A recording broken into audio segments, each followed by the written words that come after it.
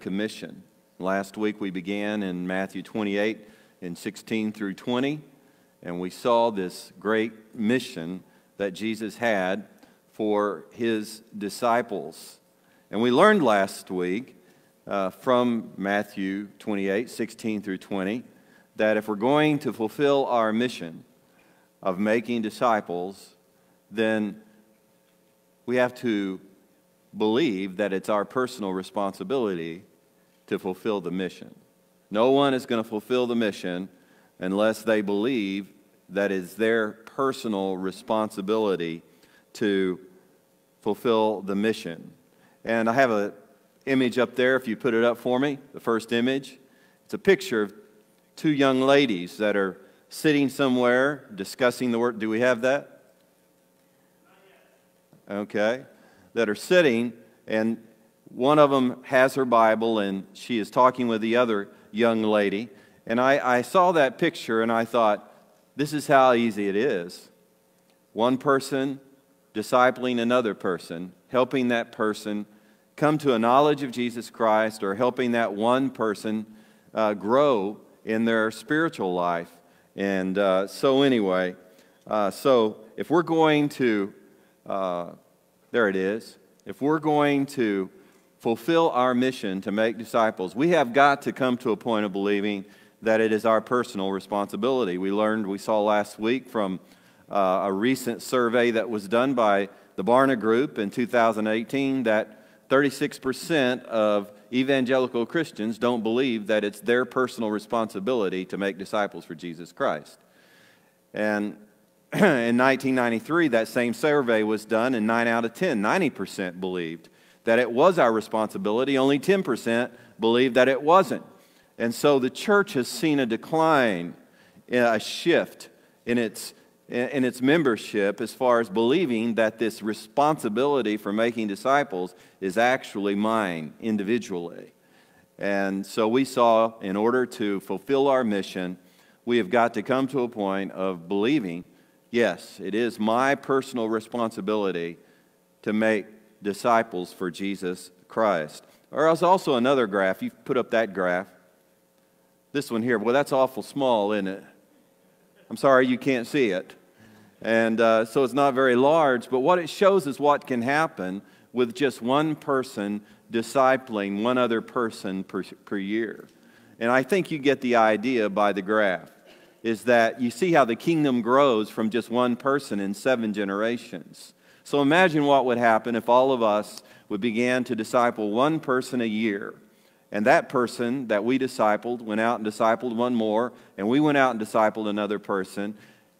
Imagine what would happen in just a, a few generations uh, with this happening. The growth of the kingdom of God, God saw in his strategic plan that the best way for the kingdom of Jesus to grow was through multiplication rather than just through addition. This morning, I want to talk to you about another important aspect of Mission Impossible, fulfilling our mission to make disciples for Jesus Christ. And what I want to talk to you about this morning is that uh, Mission Impossible will cost me. Mission Impossible will cost me. And I want to tell you a, a story. And the story is found in Matthew, the 16th chapter. But before I tell you that story, I want to give you a, a little bit of background to the story.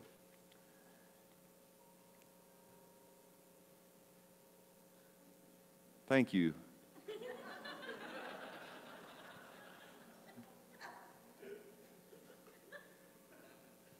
I needed help remembering the story from. Didn't that sound like I'm looking up?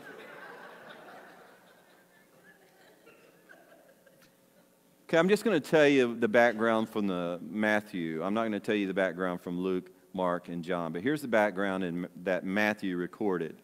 Jesus called his first disciples in Matthew, the fourth chapter. He called, he called Andrew, he called Peter, he called James and John, he called Matthew to be his disciples. That's what we have uh, recorded. Well, in Matthew 5, you began what is known as the Sermon on the Mount. And in that sermon, where Jesus was sitting on a mountain and he called his disciples to come and be with him on that mountain. And he opened his mouth and he began to speak to them. In that, in that particular sermon, which is the longest recorded sermon of Jesus that we have in the scriptures, Jesus says something to them that I believe shocked them. I believe it stunned them when he told them this. I, I believe, I don't think they expected this. I mean, there was a number of things in there that he said I think shocked them, but this one in particular, I believe, really shocked them. Remember in Matthew 4, he said, Follow me and I'll make you a fisher of men? Well, you get to Matthew 5, and he tells them, after he gives them what is known as the Beatitudes, uh, you're going to be persecuted. You're going to be persecuted for following me, is what he told them. And he gives them some, some promises about persecution. Well, if you'll fast forward with me, as he walked with those disciples over time, he, he became more specific about the persecution that they were going to experience. For example, he told them that they were going to be rejected by members of their own family. He said to them, I didn't really come to bring peace to your family, I came to bring a sword. And then he told them that they were going to be rejected by their own families for being his disciples. And then, not at the same time, it was later, he told him, Look, uh, not only are you going to uh, be rejected by your own families, but you're, go- you're going to be reviled for being my disciple. You're going to be reviled. People are going to make false accusations about you, and people are going to call you names.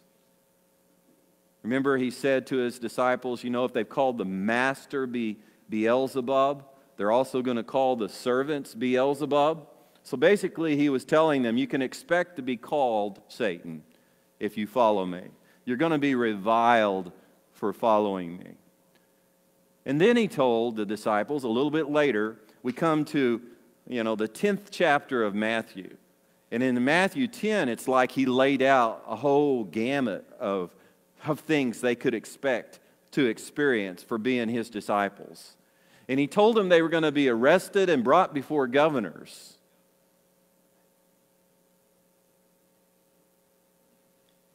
And not only were they going to be arrested and brought before governors, but he told them that they were going to be uh, scourged for being his disciple.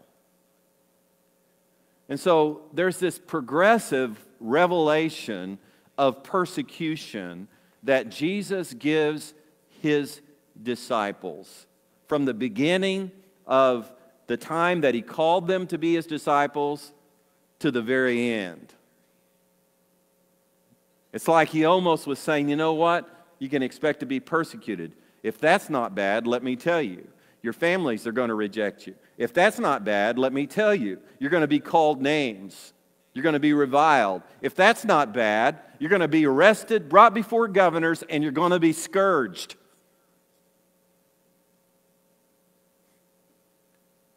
Well, as he gets toward the end of his journey here on earth, that brings us to today's story. And today's story is Matthew 16 and 21 through 27. Now, most of the ministry of Jesus took place in an area of Israel that's called Galilee. There was a big lake there. They called it a sea, and it's a beautiful lake. It's a beautiful, it's a beautiful body of water. And so his home base for his ministry was in a small town called Capernaum, which is on the north shore of the Sea of Galilee. And most of his ministry took place around the Sea of Galilee. But he would go up to Jerusalem, the city of Jerusalem, and he made visits to the city of Jerusalem. He never lived there, but he made visits during the three and a half years that he was carrying out his ministry. He made numerous visits to the city of Jerusalem. And so in Matthew 16, in verse 21, Jesus knows he's getting ready to leave Galilee and make his last visit to Jerusalem. It's going to be his last visit because Jesus knows that when he gets to Jerusalem that he's going to be arrested by Jewish authorities. The chief priest and the scribes and the Pharisees are going to arrest him while he's there and he's going to be tried. He knows this. He knows this ahead of time. And he knows that he's going to be executed, he's going to be killed. And so Jesus, in, in Matthew 16 21, tells his disciples what to expect.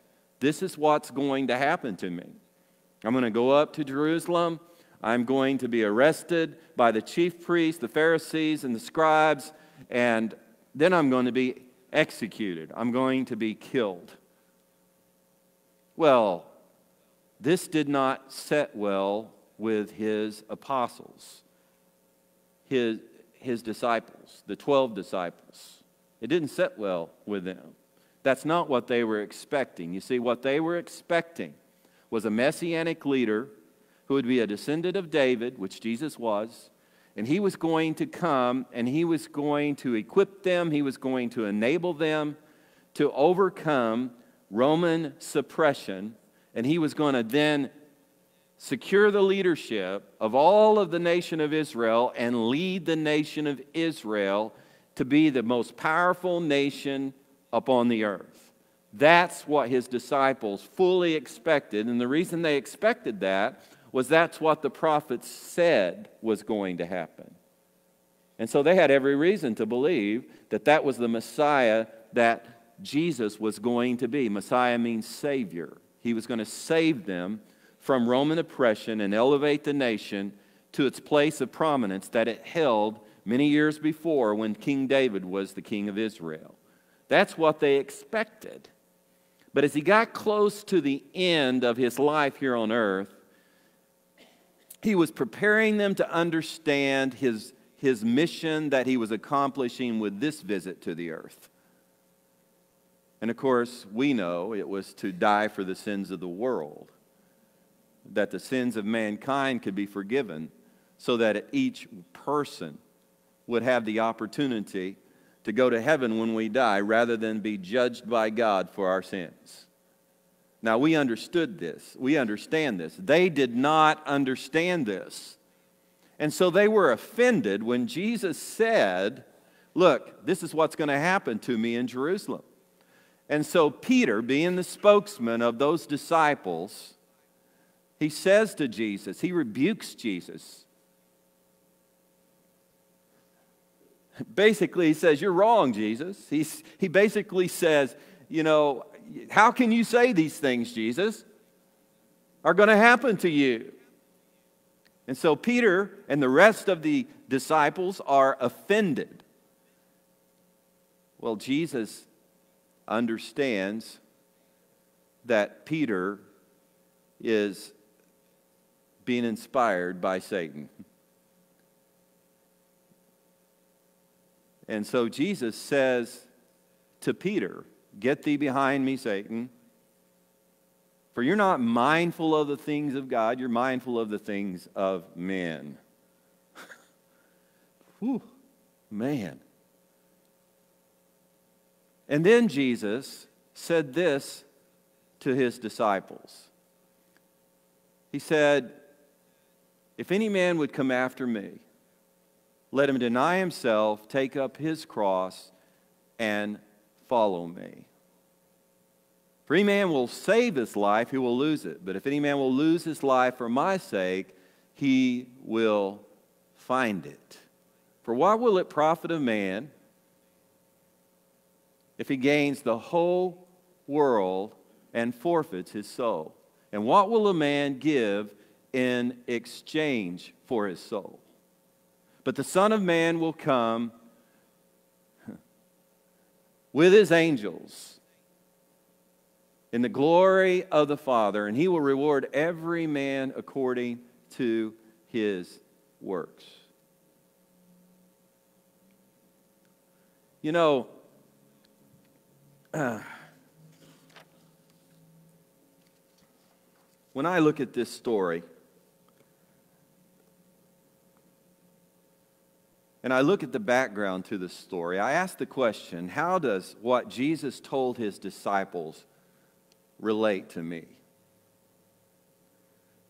I mean, I'm 63 years old, and I've been a Christian for 46 of the 63 years. And when I was a young Christian, I remember reading these kind of stories in the Gospels about persecution and what the disciples were going, you know, going to have to face, what the disciples were going to have to experience. And I, as I read those stories, I remember thinking, well, it's, it's going to really cost me to be a Christian. That's the way I related to these stories. I was just beginning my Christian journey as a young teenage young man, and I was thinking, wow, man, this is going to cost me to be a Christian. And then also, when I was a young Christian, I heard sermons on the cost of discipleship. And each time I heard a sermon on the cost of discipleship, I anticipated that at some point in time, in my own journey as a Christian, I would experience everything Jesus told his disciples they were going to experience. You're going to be persecuted. Your family's going to reject you. Uh, you're going to be brought before governors and rulers and tried and arrested and scourged. And then, really, what he told them in what we just read in Matthew, uh, the 16th chapter, is you're going to lose your life. And so here I was, a young Christian, and I would read these, these passages of Scripture, and, and I would hear a sermon on the cost of discipleship, and I would think, you know, I'm going to really have to suffer a whole lot for Jesus' sake. Well, here I am 46 years later, and uh, I cannot say that I have ever experienced what Jesus said his disciples would experience. I mean, maybe some of you can say, Yeah, I've experienced those things in my life. 46 years later, I, I can't honestly say I've ever been persecuted for being a Christian, ever, in my whole life. So, how do I relate to what Jesus said? I don't think I've ever suffered legitimate persecution the way Jesus talked about it to his disciples. I've never been reviled for being a Christian. I never experienced it the way he said his disciples were going to experience it. I've never been rejected by my family for being a Christian. In fact, my family likes me and loves me, and accepts me. I've never been arrested and scourged for being a Christian. I haven't even been threatened with arrest much less been arrested. I've never felt that my life was in jeopardy for being a Christian. I've never felt that. Like my life was really in danger because I'm a Christian. I've never felt that. You know, what I have suffered is I have suffered for being a human being. Uh, we all suffer for being a human being. The wages of sin is death, and death has more to do with physical death. It has more to do with other things as well as physical death. And so, certainly, I have suffered for being a human being, but those are things that everybody suffers. This kind of persecution or suffering that Jesus was talking about with his disciples, this cost they were going to have to pay, it was specifically related to them being his disciples. And I can't say that I have suffered any of these things legitimately. I would be misleading you if I said, oh man, I've really suffered like this. No, I, I haven't.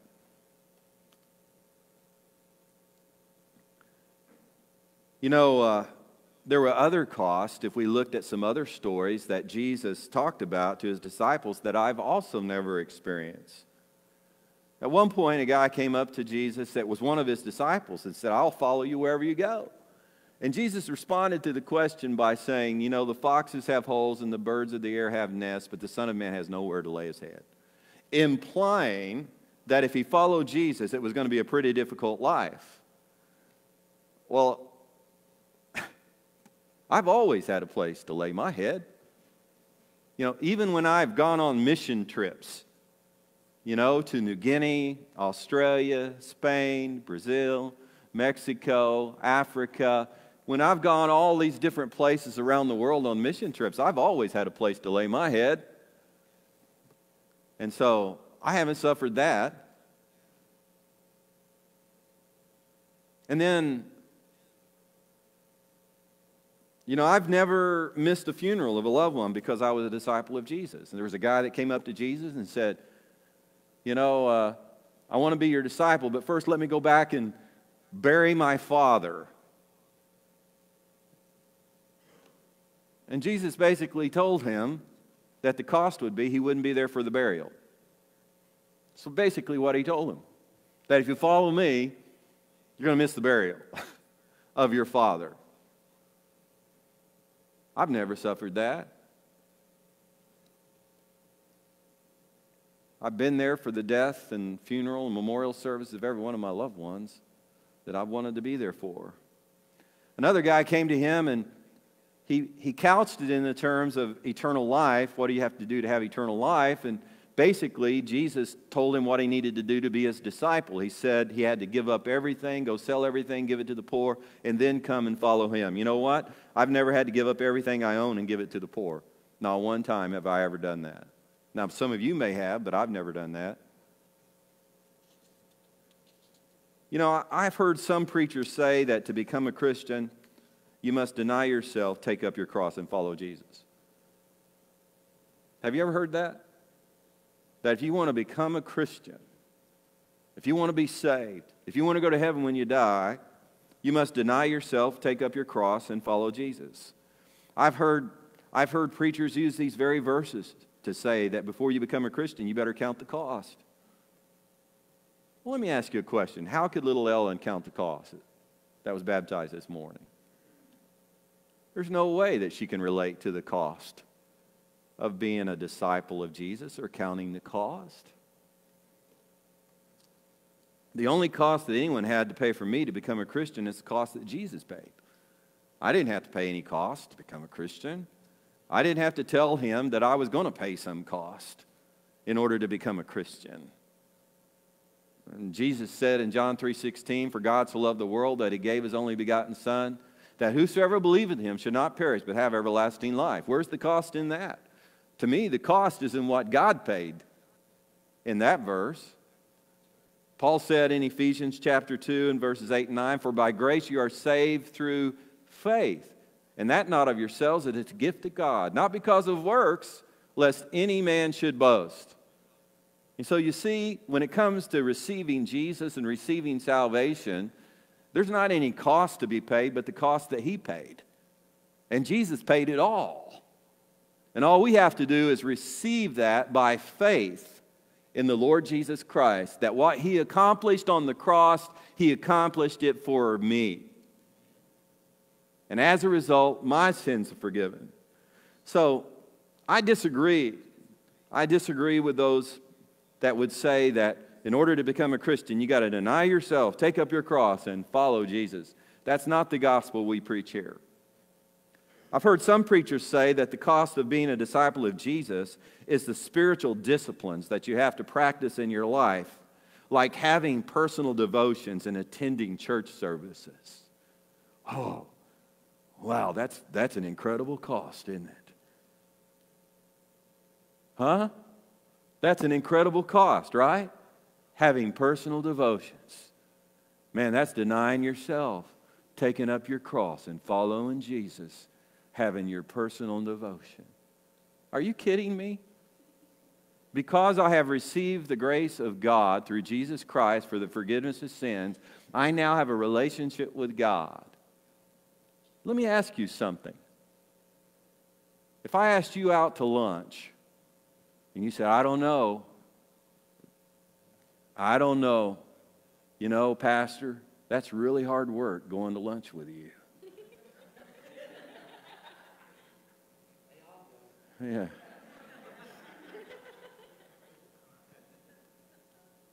Oh, that's really hard work spending time with you, Pastor.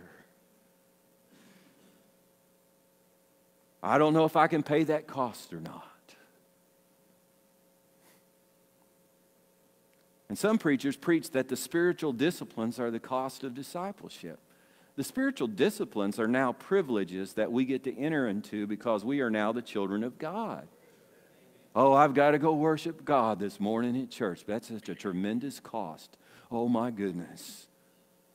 I'm denying myself, taking up my cross, and following Jesus by having my quiet time. I'm denying myself and taking up my cross and following Jesus by, by coming to church. Are you joking? Really? You really consider that to be a cost? I, I mean, I consider that to be a privilege. I get to be with God every morning.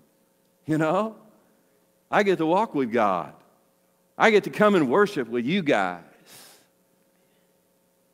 Whew, man, that's not a cost. So I disagree with that. I consider the spiritual disciplines to be spiritual delights. Because I am a child of God, I get to meet with God and pray and read His Word. I get to worship with God's people. Don't, I don't consider this to be a cost to me. I've heard some preachers say that the cost of being a disciple of Jesus is giving up sin. Have you ever heard that one before? Well, you just need to give up sin. You just need to give up sin. In order to give up sin, you got to deny yourself, take up your cross, and follow Jesus. You got to give up sin. Now, come on. It's, it costs to give up sin? Think about that for just a moment. It's a blessing to give up sin, not a cost.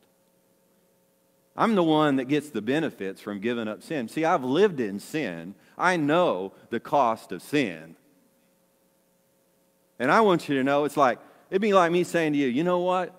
You need to Here's the cost of the discipleship you need to give up cancer. What? That's a cost? No, it'd be a blessing to give up cancer, right? And I want you to know sin is like an infectious disease that destroys your soul. And it destroys, destroys your mind. And it destroys your emotions. I want you to know it is a privilege and a blessing to give up sin. It's not a cost to give up sin. Oh, I'm just really dying for Jesus. I can't curse anymore. I just, I'm just really paying the price for Jesus.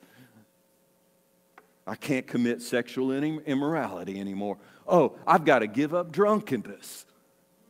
Oh, my goodness. I've got to stop being a substance abuser that's addicted that's losing my family and losing my money all the time. Oh, that's such a tremendous price to follow Jesus. I don't agree with that either. I don't think giving up sin is a cost of discipleship. In fact, it's just the opposite. I have found that it costs me to live in sin. And it's a blessing not to live in sin. So that's not, that's not the way it applies to me. So I look at what Jesus said to his disciples, what we just went over briefly this morning through this story and the background I gave you. And I ask the question how does what Jesus told his disciples relate to me? Where, where, where is the cost for me? And here's what I want you to get this morning the cost is in the mission. It's always in the mission. I want to say it again. The cost is in the mission. Do you get it? The cost is in the mission. That's where the cost is. And that's how I can relate to what Jesus said to his disciples. And I can honestly say, yes, it does cost me to be on mission for Jesus Christ. To make disciples of Jesus, yes, I have to deny myself and take up my cross and follow him. I have to do that. That's where the cost is. If I'm not on mission for Jesus, I don't, there is no cost. Doesn't cost me anything. it's in the mission. Denying myself and taking up my cross means giving up my time for the mission. It means giving up my money for the mission. It means giving up my home for the mission. It means giving up my friendships for the mission. That's the cost. That's the only way I can relate to what Jesus said to his disciples. They had to do those things too, right? They had to give up their time, they had to give up their money, they had to give up their home, they had to give up their friendships to make disciples for Jesus. And I have to do the same thing, and so do you. Discipleship cost. Now, personally, how it's working in my life as of today is that right now, I'm personally discipling 13 men to be disciples of Jesus. I want you to get an idea of what that looks like discipling 13 different men to be disciples of Jesus. And I want you to understand this. My goal with each one of these men is to see them make disciples that make disciples. I'm not interested in self help, I'm not interested in behavior modification. With every man that I meet with to make disciples, my goal is to see them, that's my ultimate goal, turn around and make disciples themselves. For me personally, right now, it requires seven scheduled meetings each week to get with all of these men. So every week I have seven scheduled meetings to get with all of these men. And one of the reasons why it takes seven is they cannot all meet together at the same time. If they could all get together at the same time, it'd be a lot easier but it's not. They can't all get together. So it takes seven scheduled meetings each week to get with all these men. Each meeting that I have with these men is centered around God's Word and what's going on in their lives and how the Word of God applies to what's going on in their lives.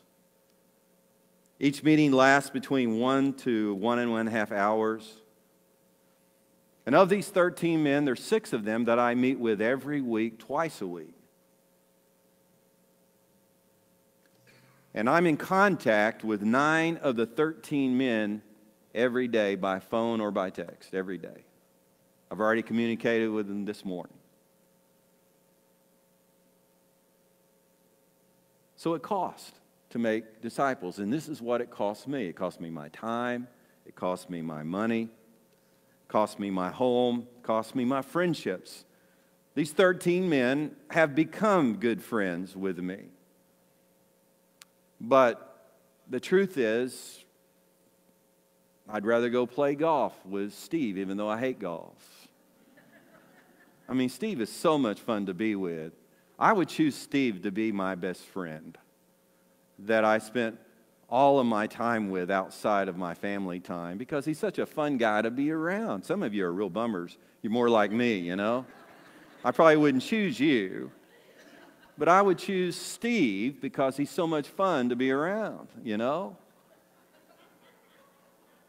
And so it cost friendships. Not that people are rejecting me, but I, if I'm spending time with these guys, I can't spend time with other people that I'd really like to spend more time with, you know? And they're all different personalities, just like the disciples of Jesus were. I mean, some of our personalities don't match, some of them annoy me because our personalities are so different. And so I have to give up friendships, I have to give up time in order to do what I'm doing. Like I said, my ultimate goal in each and every meeting or conversation is to equip these men to disciple others. That's it. I, do I serve them? Yes. If they get sick and go in the hospital, do I go see them? Absolutely. Whether they attend here or not, it doesn't matter.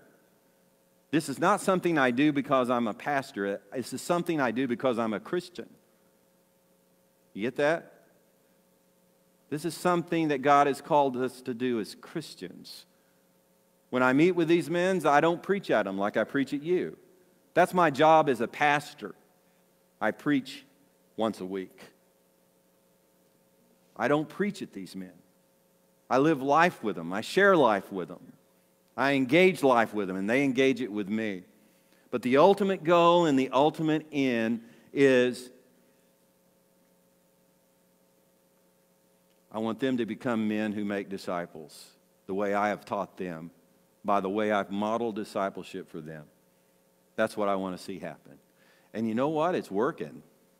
I can say this, as I said on August the 12th, for the first time in my ministry, it's really, really working.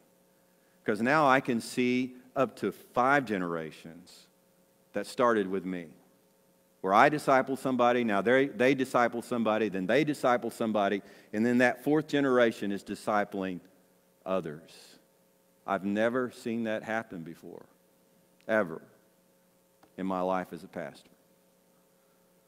And that's just one tree. But I'm hoping to see 13 more trees from the guys that I'm currently working with and discipling. You know, what I found out about this, as far as the cost, is that it takes a razor sharp focus on this. You know, this is not something that I can do as a hobby. You know, it, it's not the same as marriage, the responsibility of marriage, but it's pretty close. I mean, it's pretty close. I mean, my responsibility to my wife is, you know, a lot different from my responsibility to these guys.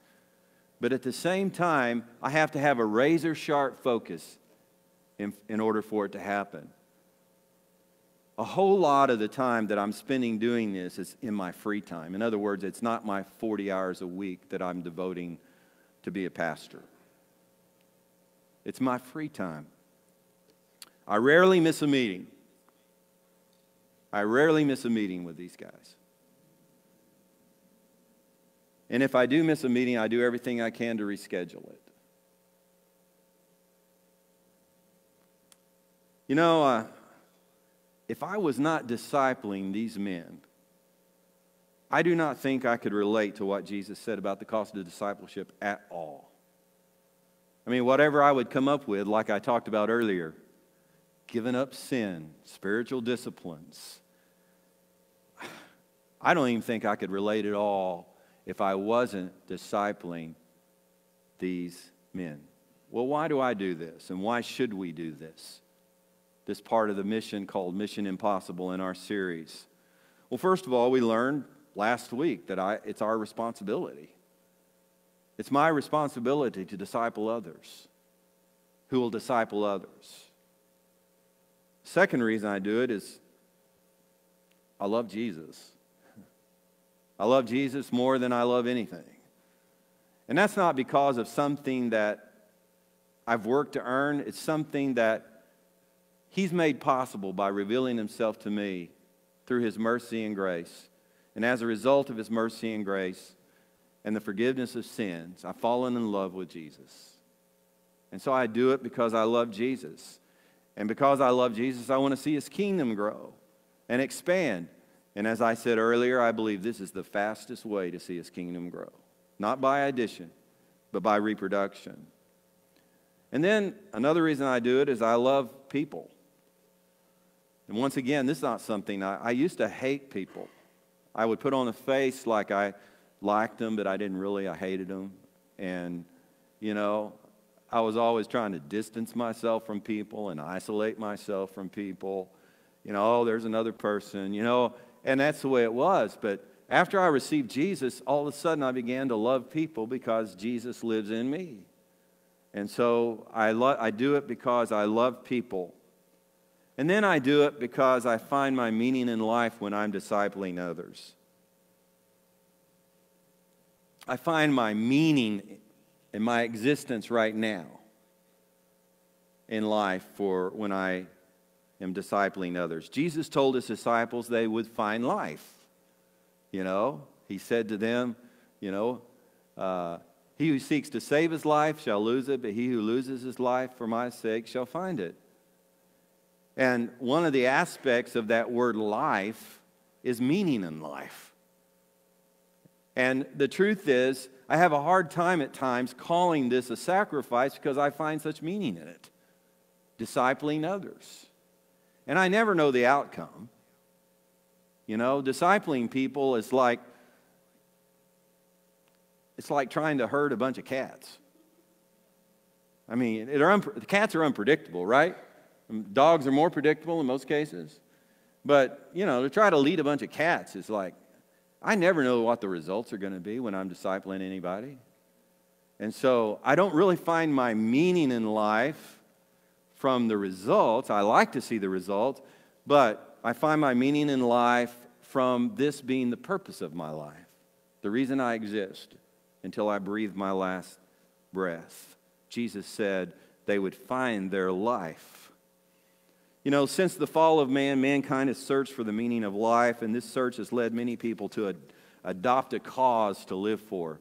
And certainly that's true in this millennial generation.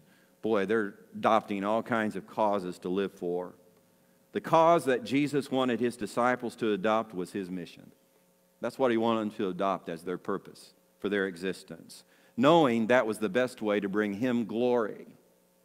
How can I bring Jesus glory if I'm not fulfilling his mission that he has for me. And he promised them if they sacrificed their life for his mission, they would find meaning in life. They would find life itself in him. And I want you to know it's true. I mean, it, it's so true in me that the words of Jesus are true. And then an, an, another reason I do it is because I believe I will be rewarded by Jesus when he comes. That's what he said to his disciples in this passage that we just read. He not only told them they would find life, he told them that he would reward every man according to his works when he comes. And so, what it tells me is what I'm doing is not going unnoticed by him. That's what it tells me. And I'm going to be rewarded. You know, since the fall of man, mankind has searched for wealth, thinking that being rewarded with wealth was going to be what would really make uh, their lives beneficial. And so the search for wealth, it's, it's, I mean, historically, there's all kinds of stories that we could read about people searching for wealth in this world. The wealth that Jesus said his disciples would receive was his reward. That's the wealth. His reward. He promised them if they, would, if they sacrificed their life for the souls of men, they would receive his reward when he comes. You know, I, I don't know what that's going to be even, but I know it's better than money. I know that. I know it's going to be incredible. Can you imagine God giving you a reward? I mean, if you've been, you know, if I know most of you have had people celebrate your birthday, and that's a reward when they do that. And that feels pretty good most of the time, you know, when they celebrate your birthday, especially if they make you the right kind of cake. But can you imagine God rewarding you?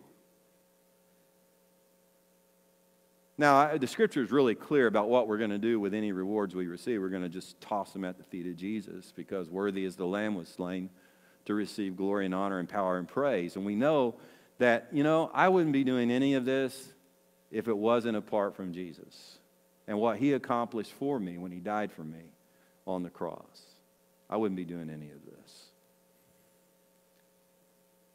His reward, it motivates me, knowing that's going to happen at some point. No matter what results I see in this life, there's going to be a reward. You know, there's one decision that I did make as a youth that has been of great benefit to making disciples and, and the cost of discipleship. And I decided that I would be willing to die to make disciples.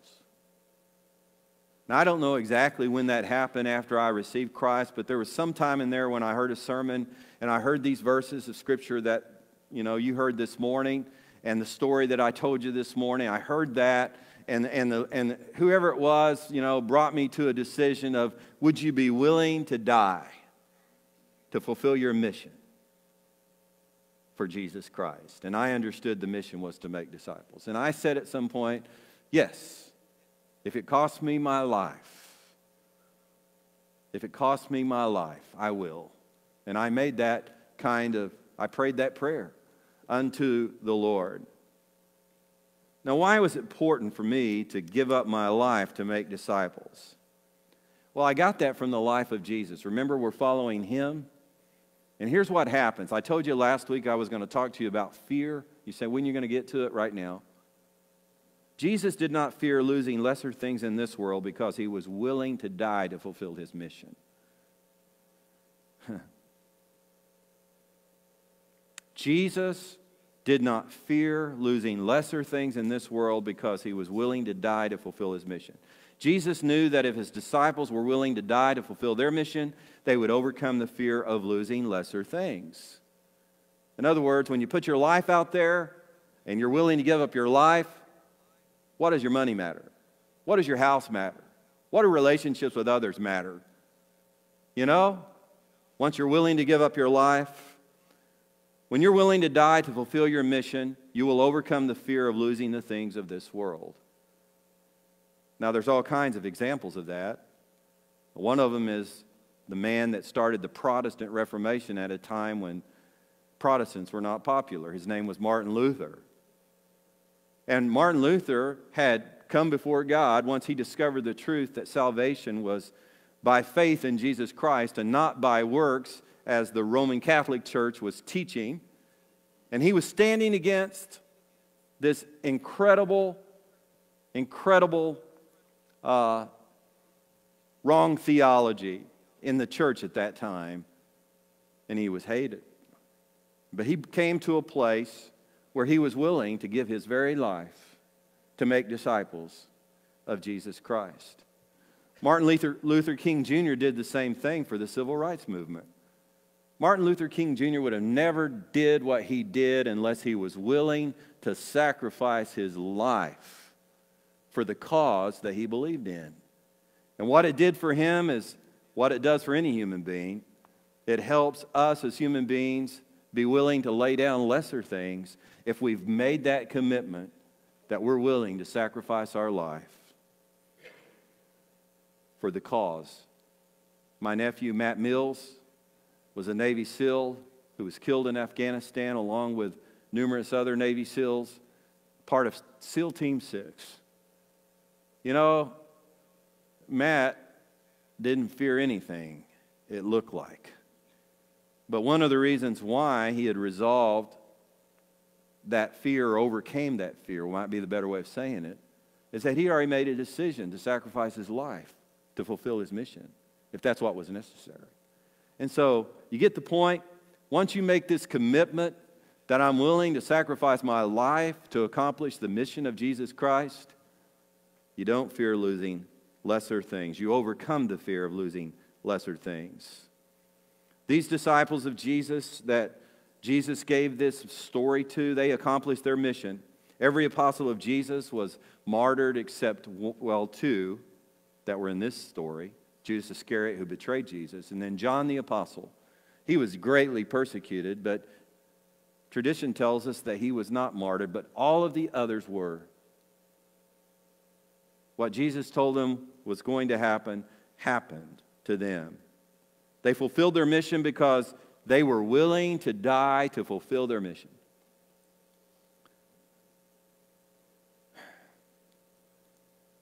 You know, these disciples, as I've said, suffered to fulfill their mission in, in ways that I've never known and probably never will know during the course of my lifetime. I'm humbled as I read the Foxe's Book of Martyrs, for example. Read that book. That humbles me. i will never experience that as far as I know. Your generation might here in America, I don't know. But I won't ever experience that in my lifetime, more than likely. I'm humbled as I read what those disciples gave up to make disciples and fulfill their mission. But what I do know is this what Jesus told his disciples still applies to me and you. To make disciples, I must give up my life. I must, that means give up my time. I must give up my money, my home, my friendships.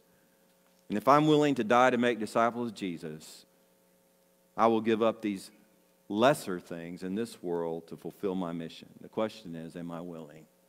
Am I willing? And the question is, are you willing? Are you willing to take on this mission? Here's the mission if you choose to accept it.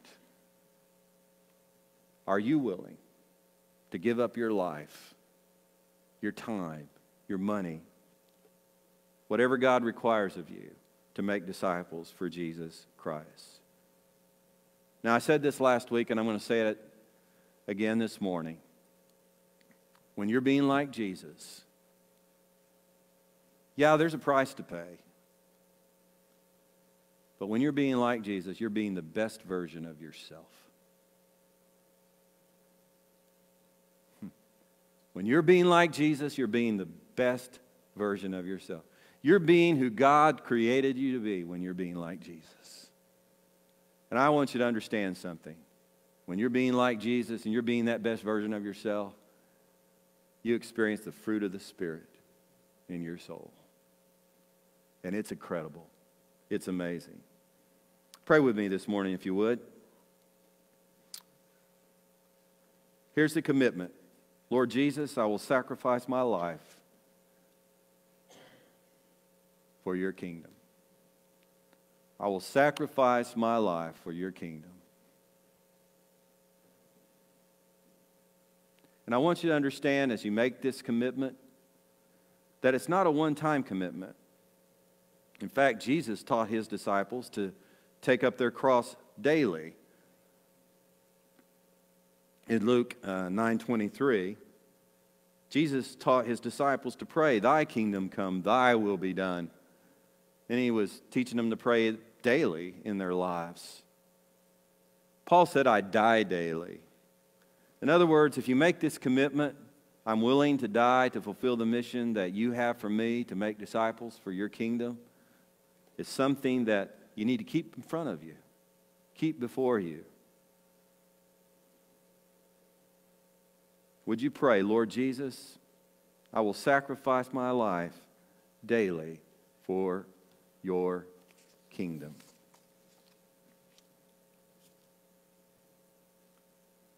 Thank you, Father, for what you're doing in our hearts and in our midst. Thank you for your word. Thank you for the life that you've given us. What a great life you've given us to walk with you and live in relationship with you, God. Thank you, Father, for loving us the way that you do.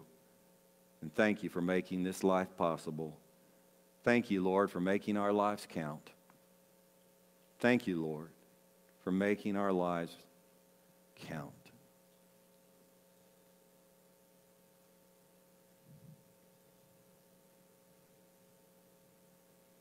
This morning we're going to finish with a time of prayer as we always do. And many of you may have already heard the news about Wayne Larimore having cancer, and it's very serious, very serious. And so I'm going to ask for someone to come and stand in for the Larimore family this morning. Uh, if you're new with us, they used to be members of our church here and for many, many years, and they're dear to our hearts. So if you come on up, Paul and Ben and they'll be praying for the Larimore families. I, I, communicate. Both of them have already been out to see them at their house, and uh, I communicated with them that we would be praying for them this morning. They know what that's all about. If you have a need for prayer, whatever it might be, it may be related to this sermon, it may be related to something else that's going on in your life that you need prayer for. This is a time for us to pray with you about it. And our people are ministers, and they want to come and pray with you, whatever your need might be. And here's the way you can identify that you have a need for prayer. You just come up like Leroy is here, or these people are here. Just come on up if you would. And when you come on up, others are going to come and join you in prayer and pray with you about your need. So let's stand together right now. If you have a need for prayer, would you come on up?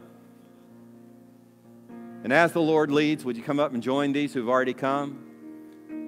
But don't leave here today without having your need prayed for. If you've got a need for prayer, come on up, stand to the right or the left or right here or right here, and I'll make sure they'll people will see you and they'll come. That's just who we are. Lord, come on up if you need prayer.